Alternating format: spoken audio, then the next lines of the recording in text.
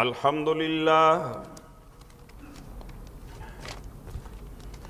نحمده ونستعينه ونستغفره ونؤمن به ونتوكل عليه ونعوذ بالله من شرور أنفسنا ومن سيئات أعمالنا من يهده الله فلا مضل له ومن يضلله فلا هادي له. ونشهد أن لا إله إلا الله وحده لا شريك له. ونشهد ان سيدنا وحبيبنا ومولانا محمدا عبده ورسوله.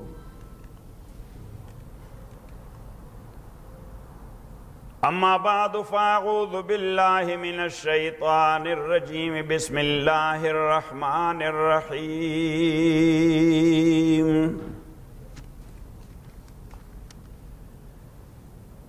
يا أيها الذين آمنوا كتب عليكم الصيام كما كتب على الذين من قبلكم. كما كتب على الذين من قبلكم لعلكم تتقون أياما معدودات.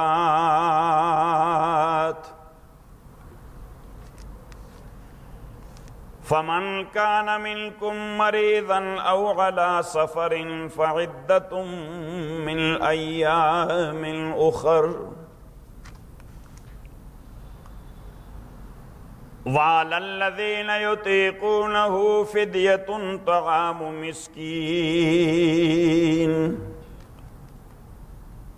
فمن تطوع خيرا فهو خير له.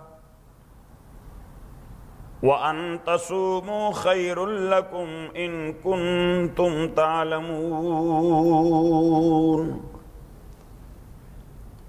شهر رمضان الذي أنزل فيه القرآن هدى للناس وبينات من الهدى والفرقان. فمن شهد منكم الشهر فليصمه ومن كان مريضا أو على سفر فعدة من أيام اخر يريد الله بكم اليسر ولا يريد بكم العسر ولتكملوا العدة ولتكبروا الله على ما هداكم لعلكم تشكرون.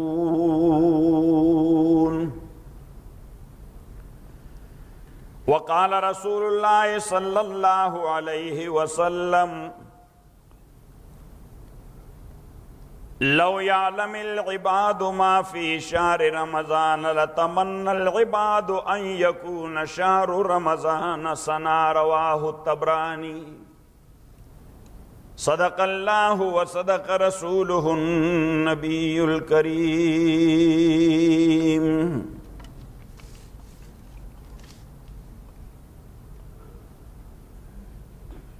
My dear respected brothers and sisters in Islam, Alhamdulillah, we are in the holy month of Ramadan. We are in the second Ashara, which is the Ashara of Maghfirah and forgiveness. As Rasulullah sallallahu alayhi wasallam divided Ramadan in three Asharat, أوله رحمة The first Ashara are 10 days and nights.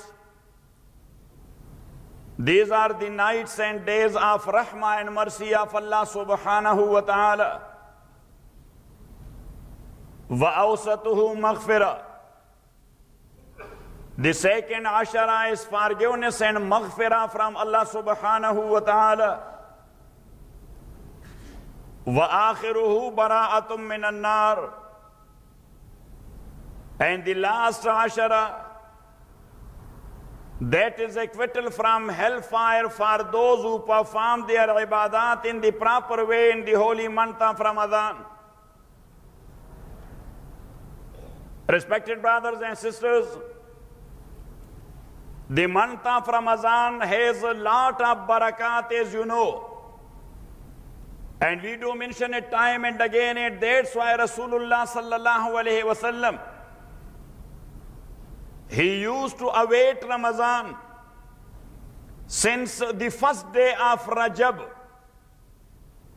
Whenever he saw the crescent and hilal of Rajab, he used to make a dua.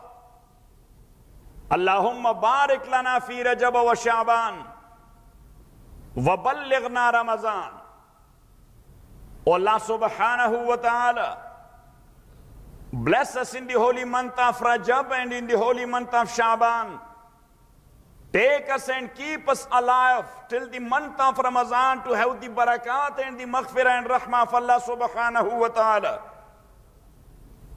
Respected brothers and sisters, as we did mention and that is written on the board as well, that Ramadan or fasting, that is a self-control system.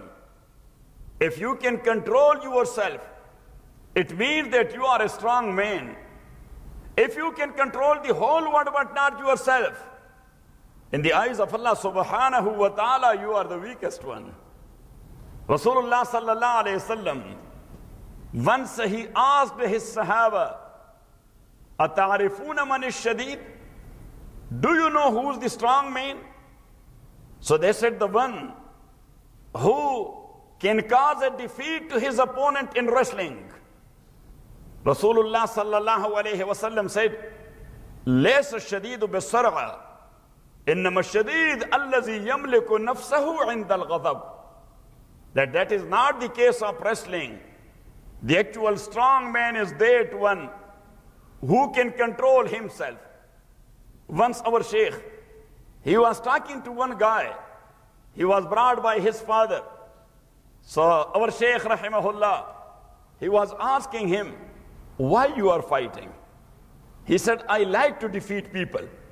So Shaykh rahimahullah, he asked him, can you defeat someone who is stronger than you? Or you can defeat someone who is equal to you? Or someone who is lower in strength and power than you? So Shaykh rahimahullah, then he himself explained, if you defeated the lowest one, you are not a strong man.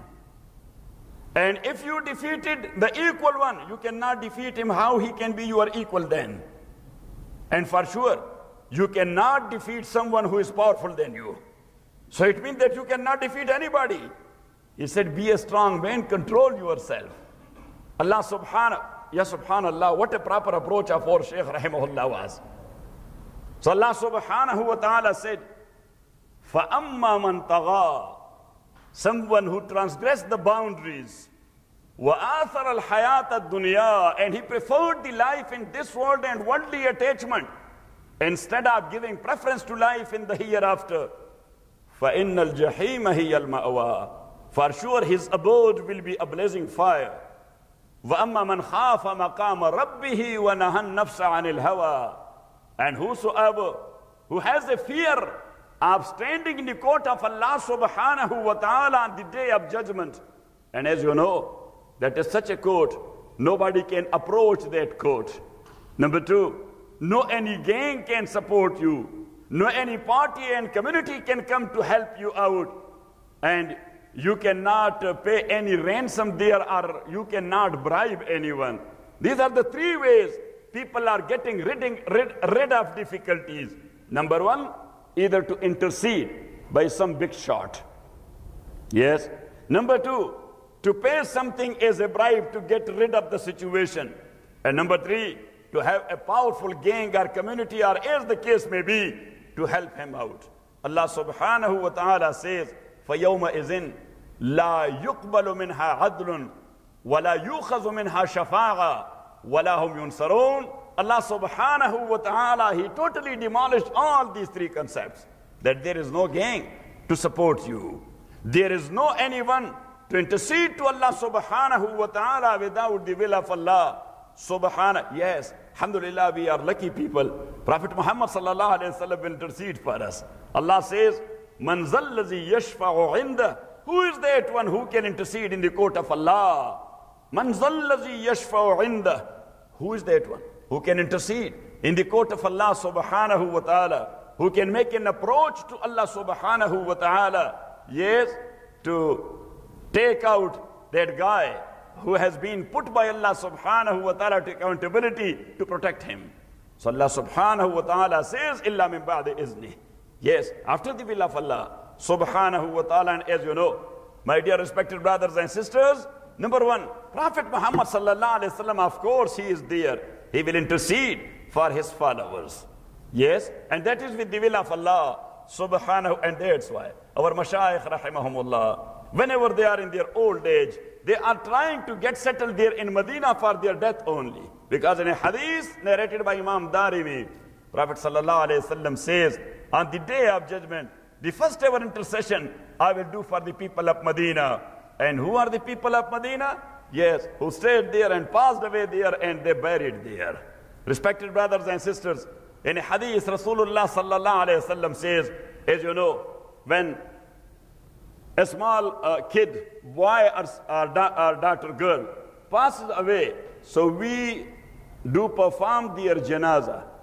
Before last takbir and after the third one, we do make a dua. Allahumma ij'alhu lana faratan, ajran wa zukharan, waj'alhu lana shafi'an wa mushaffa'a. It means that the small Muslim kid, boy or girl, he will intercede on the day of judgment in favor of his parents. That is the second one. And number three, Rasulullah sallallahu alayhi wasallam says, Man qara al-Quran fastazharahu فَحَلَّ حَلَالًا وَحَرَّمَ حَرَامًا Sometime we do explain the hadith of Rasulullah sallallahu alayhi wasallam halfway.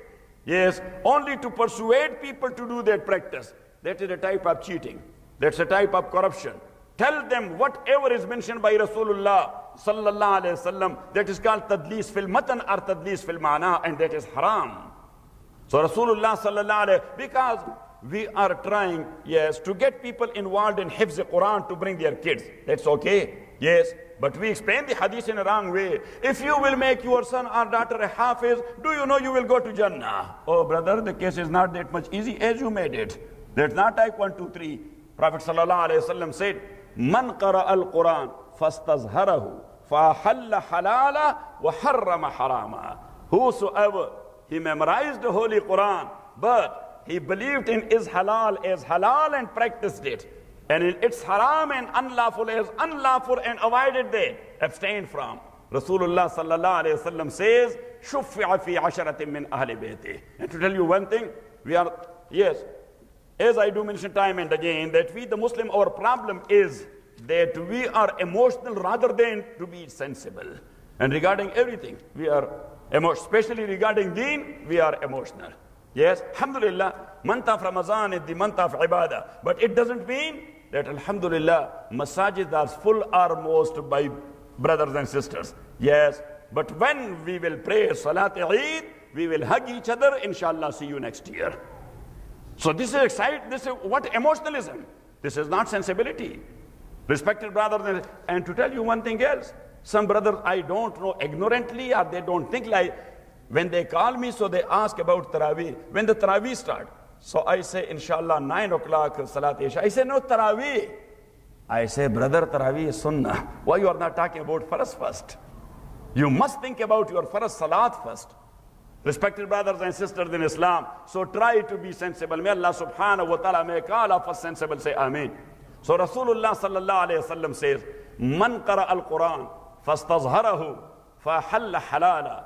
وحرم حراما شفع في عشرة من أهل بيته on the day of judgment Allah subhanahu wa ta'ala he will give him permission or he will uh, uh, allow him to intercede for 10 members of his own family those who are going otherwise to the hellfire so here Rasulullah sallallahu alayhi wa mentioned two things. Number one, memorization of Holy Quran.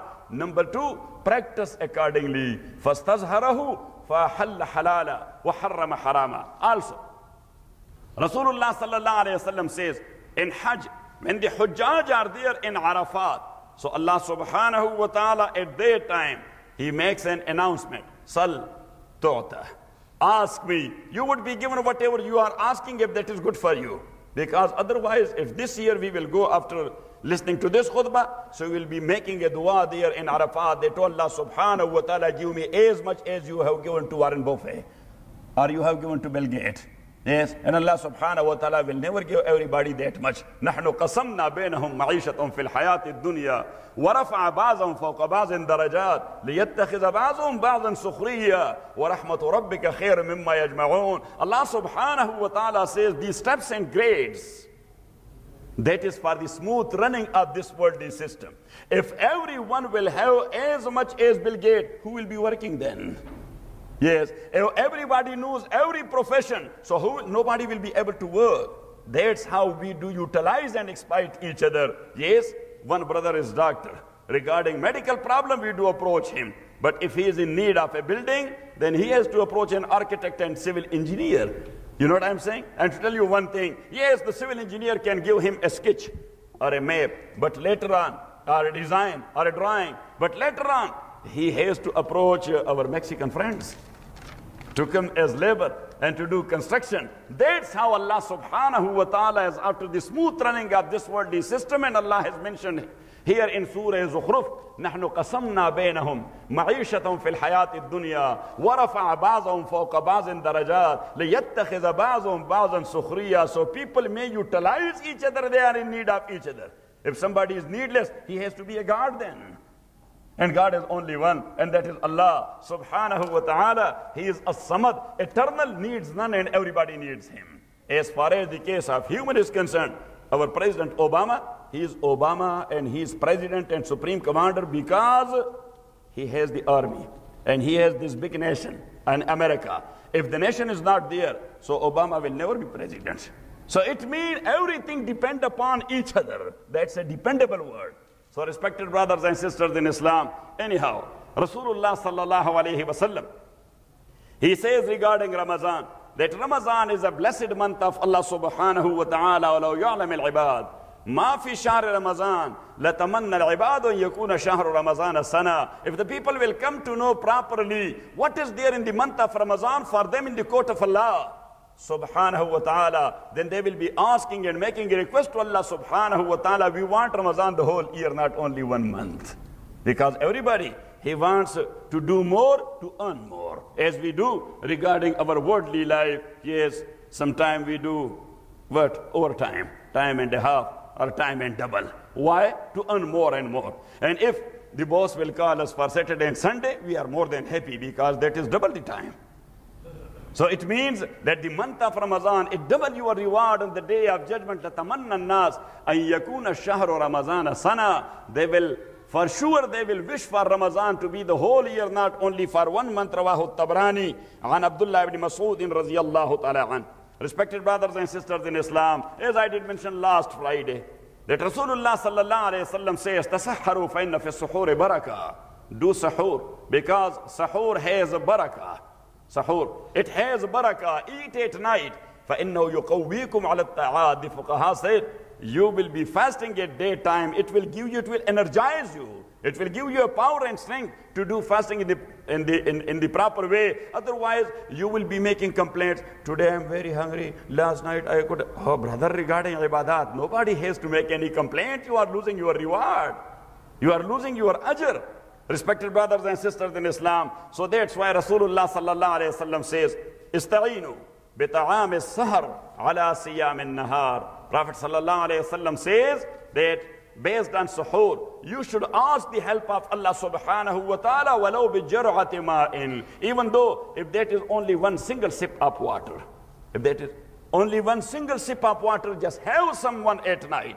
And respected brothers and sisters in Islam, Rasulullah sallallahu alayhi wasallam says that Mallam yada qawla zur wal amala bihi falaysa lillahi haja fi an yada'a ta'amahu wa sharaba. Whosoever he does not leave his fusuq and uh, uh, uh I mean bad talk, bad words. Rasulullah sallallahu alayhi wasallam says Allah is in no need of him to leave his drink and food. Actually, Ramadan is a refresher course.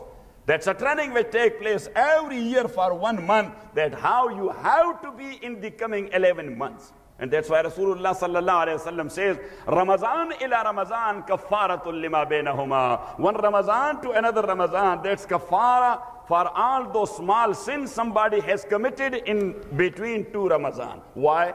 Because in Ramazan he got trained. When he is a trained guy, now he will try not to commit any major sin But we are human, small sins, it will happen. إن الحسنات يذهبن السيئات ذلك ذكرى للذاكرين الله سبحانه وتعالى says واقم الصلاة طرفي النهار وزلفا من الليل إن الحسنات يذهبن السيئات ذلك ذكرى للذاكرين Allah subhanahu wa ta'ala says that your good deed it will white out and wipe out it will erase your small bad sins إن الحسنات يذهبن السيئات ذلك ذكرى للذاكرين and respected brothers and sisters in Islam another important thing in the month of Ramadan is اعتكاف Rasulullah sallallahu alayhi wasallam Abdullah ibn Masud radiallahu ta'ala anhu says we fasted nine Ramadan with Rasulullah sallallahu alayhi wasallam because Ramadan became farz and mandatory when Prophet sallallahu alayhi wasallam got migrated to Medina al-Munawwara yes so he fasted for nine years, nine Ramadan. Ibn Masud says, an, that we fasted only two times for 30 days. Otherwise, seven times we fasted only for 29 days. Because majority of lunar months are of 29 days, not of 30. And Allama Qari says that Prophet sallallahu alayhi wasallam, innahu salla marratain salasin. In his lifetime, he performed fasting only for, uh, mean two times for 30 days. So it means seven Ramadan, that was for 29. But another thing, Ibn Masud says, Raziyallahu an, we have never seen Rasulullah sallallahu alayhi wasallam that he has missed i'tikaf. So it means that in all nine years, Prophet sallallahu alaihi wasallam, he did nine etikaf and not only nine in the last year. He did his etikaf not only for 10 days and night, but for 20 days and night.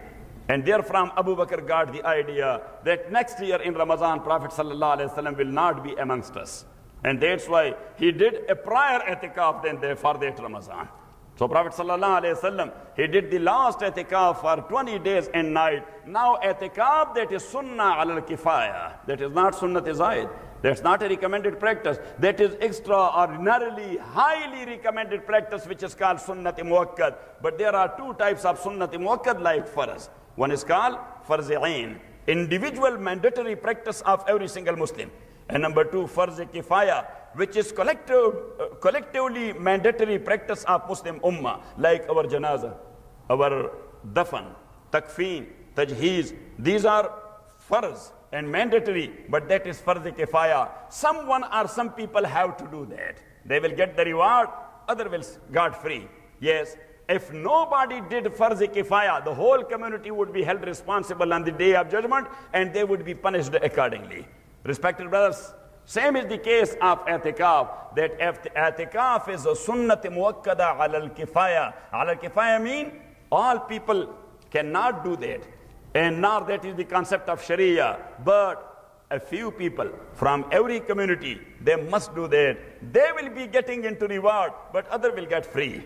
Respected brothers and sisters in Islam, in a hadith, Rasulullah sallallahu alayhi wasallam, as I mentioned, that Abdullah ibn Masud says, he never missed an etikaf, that's why that became sunnati muwakkada.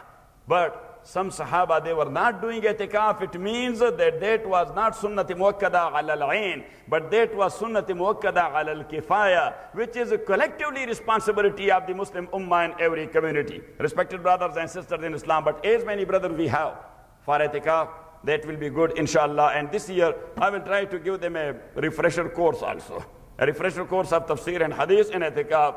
Yes, I will try not to allow them to sleep much more. Yes, so they may spend their time in the ibadah of Allah subhanahu wa ta'ala, which is the actual hikmah and philosophy of etikaf. Our Shaykh rahimahullah used to do that. Yes, after Salati Fajr, he used to give a lecture. Then after Salati Zuhr, he used to give a lecture. Then after Salati Asr, he used to give a lecture. Yes, for to those who were in i'tikaf with Shaykh rahimahullah, respected brothers and sisters in Islam, now Atikaf is mentioned in Holy Quran in so many ayat. Sayyidina Ibrahim alayhi salatu wasalam, when he was ordered and commanded by Allah subhanahu wa ta'ala to build up the house of Allah subhanahu wa ta'ala, so he ordered him an tuhir baytiya lit-taifin wal-akifin wal-ruk'a sujud Yes, to clean and purify my house lit-taifin for those who will be doing tawaf. والعاكفين for those who will be doing i'tikaf والركع السجود and those who will be making ruku and sidda means praying and as you know that there are three ibadat there in the house of Allah subhanahu wa ta'ala number one tawaf number two salat number three i'tikaf and in hadith Rasulullah sallallahu alayhi wasallam says and to remind you one thing as I did mention before that we are looking for something good for our community and especially when people are in recession or the whole world is in recession. So we are looking for more and more good or for better and best. So that's why we are looking for agent to take us to Hajj with yeah, economical expenses. Yes. So the agent, he agreed only for 50 seats, but already we have 45. Yes. So only five seats are left. Otherwise, the agent, the same agent even, he will be charging you after that 1500 or sometime 2000 more. He said, no, that's a deal which I have given to Sheikh Qazi. I cannot give that deal to anybody. And some other Hajis, because that's a big company and they are taking hundreds of people to Hajj. In Mina, some people fought with that agent that because I tell my brothers and sisters there, don't tell anybody, yes, how much we have been charged by the agent, not to create problems for him. So some Hujjaj Kiram, they fought with him. We uh, have the same facilities, but you charge the people of uh, Islamic Center of Northridge that much and you charge us 2,000 more. And he said, so he's a very smart guy. He said, see, this is my business. They said, of course. He said, next year I will bring the people of Islamic Center Northridge for free, no cost. What's your objection then? Should I bring you free as well? So then, so anyhow, now we have only five seats left. So if somebody is interested to go for Hajj, so he should give his uh, photostat copy of his passport and other requirements either to Brother Inam Qadri, sitting there, or Brother Pervez, because uh, the, the, the agent, he will come in the month of Ramadan and he will take the documents. Anyhow, so in the haram of Allah or in haram Makki, Allah subhanahu wa ta'ala mentioned three things. Number one, tawaf. Number two, salat. Number three, i'tikaf. And Prophet sallallahu alayhi wa sallam says, إِنَّ اللَّهَ يَنزِلُ كل في كل يوم وليلة 120 رحمة على بيته Allah subhanahu wa ta'ala is sending 120 rahmah to his house in Mecca every day and night in 24 hours. ستون لمن يطوفون 60 for those who are making tawaf. وأربعون لمن يصلون 40 for those who are making their nafal salat there. وعشرون لمن يعكفون and 20 that's for free a guy is sitting there with the intention of etikaf even for one hour or two hour Imam Muhammad ibn Hassan al-Shaybani rahmatullahi alayh the authority in fiqh Hanafi he says that etikaf a mustahab etikaf can be for one hour or two hour as well that's why when we go in jama'ah so we do make the intention of etikaf for three days Yes, or if you go with jama'ah for one day, so we make the intention of etikaf. When you enter to masjid, just make the intention of etikaf. That is mustahab and recommended etikaf. But as far as the case of sunnah etikaf is concerned, it has its own specific time, which is the last 10 days and night of Ramadan. And uh, number two, or number two, that will be in the month of Ramadan. You cannot do it in uh, another uh, uh mean another time or another month. Respected brothers and sisters in Islam. So Allah subhanahu wa ta'ala says, and Antwahir baytiya littaifin wal akifin wal sujood Now, what is the purpose or the hikmah of itikaf? As I did mention time and again regarding ibadat and worship, that is umur ta'abbudiyah. Umur ta'abbudiyah, why you are doing that? I saw Rasulullah sallallahu alayhi wa sallam did it. Yes, that's the only thing. Why you are doing that? Allah subhanahu wa ta'ala ordered to do the same. That's called itagha. That's called ita'a. Regarding sunnah of Rasulullah sallallahu that's called ittiba, to emulate the Prophet sallallahu alayhi wasallam. Look, Sahaba rizwanullah alayhi majma'in. We have our classes, one class is that of Islamic jurisprudence. So I was telling them that hukm or order, that's have two types. One is called al-hukm al-waz'i, the same one is called al-hukm al-taklifi. Then I was telling the students that al-hukm taklifi that is of five categories. Number one, that is wajib. Number two, that is uh, sunnah. Number three, that is haram. Number four, that is makruh. And number five, that is mubah or permissible. So these are the five categories of things to be done or to be or to abstain from. Or to abstain from. So now everything which is haram, you have to abstain from. You must abstain from. Why? Don't look into the philosophy. Allah said, don't go close to that. Rasulullah prohibited that. Yes, whatever is order, they do that. So why you are doing that? Don't look into the philosophy. We are not here for philosophies. We are here for obedience. We are here for copy and emulation.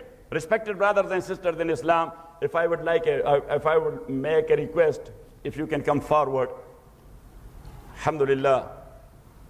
Now we have to think about another masjid then. Inshallah. Jazakumullah khairan. Barakallahu feekum. So anyhow, the hikmah and the philosophy of etiqaf, as you know, the word etiqaf or ukuf. Ukuf mean to tie. Ukuf mean to tie. So you have to tie and confine yourself to masjid. And that's why Imam Abu Hanifa rahimahullah says that there is no etiqaf but only in that masjid where Salati Juma is taking place. Because if you will do your etiqaf in a musalla, where Salat Juma and Friday prayer is not taking place. So Salat Juma is first, you cannot miss it. Then you have to go out and to attend Salat Juma in another masjid, which is against the spirit of etikaf. Because etikaf means confinement. Just confine yourself to masjid where you have made the intention of etikaf. You can go out only for al-hajat al-bashariyah. Hajat al-bashariyah, if the bathroom is not available inside. And that's the outside. So you can go for al-hajat al-bashariya. And you can go for your food if that is not available inside the masjid. But alhamdulillah, we have uh, a few brothers, they are taking care of the brothers in Atikaf. They bring them everything there. Yes. And that's why I have put restrictions on brothers in Atikaf. You cannot go to kitchen even because you don't need it. Yes. So Atikaf means confinement to masjid. Number two, retreat. Yes, just retreat and retract yourself from worldly business. Don't have your cellular phone in your pocket. Yes, honey, how are you doing? Yes, he came back from school or not? Oh, brother, what is this? What type of etikaf that is?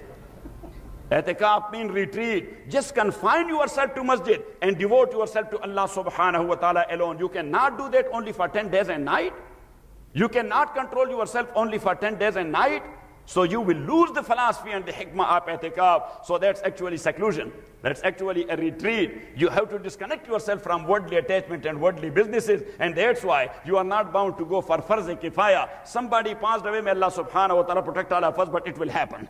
Yes, people will be getting died. Someone who is an etikaf, even though if someone died from his own relative, he should not go there. Lot of Muslims are there, they will perform his janazah.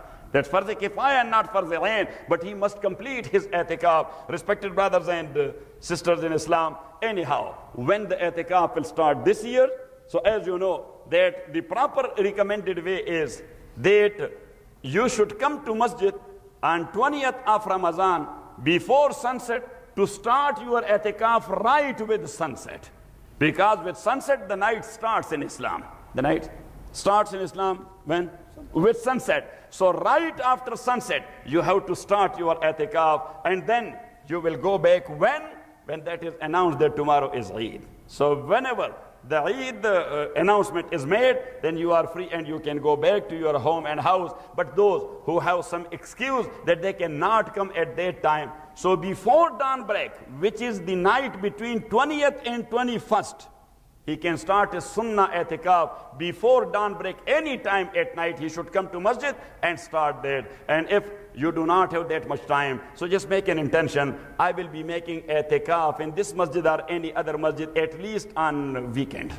At least on weekend. One day and night, two day and night, three day and night, you will get the reward. Not only that, you will feel it that how it will make your heart transparent, how you will get into uh, uh, mean spiritual satisfaction, yes, and mental tranquil. And as you know, that in matter and material world, most of the people they are confused. To get out of that confusion, you need some spirituality. And that spirituality is there in itikaf. Wa akhiru da'wana alhamdulillah.